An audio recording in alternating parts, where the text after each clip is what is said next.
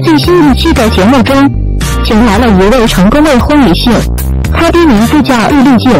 也许很多人对她不是很了解，她写过很多的作品，而且有很多人都喜欢看。在很多人眼里，易立竞是一位成功女士，但是同时她也是一位大龄剩女。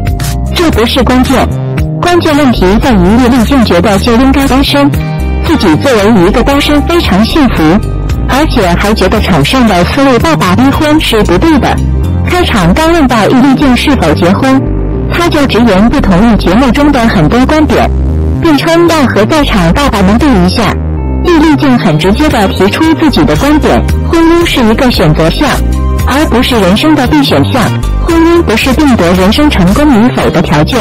他也说到自己的父母也曾催过自己结婚，然而他说自己单身非常幸福，就能看到天使蓝的都很幸福。而且不仅如此，他还在现场提出了父母们希望的婚姻，真的就都幸福吗？本来这档节目的目的就是想让四个女儿能尽快找到自己的另一半而开设的，四位爸爸也都是这个心愿。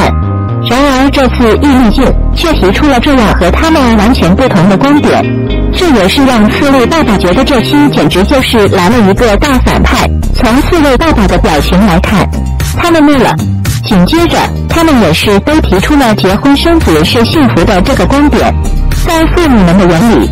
你们没结过婚，没生过小孩，你们完全不懂得那种幸福。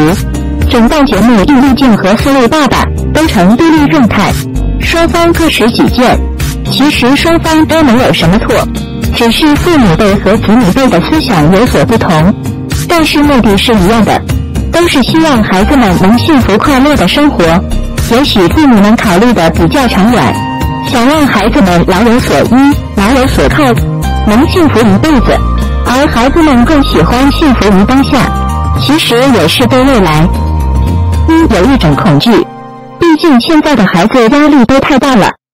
父母们和孩子们这两种对婚姻的态度，大家觉得单身幸福呢，还是结婚生子更幸福呢？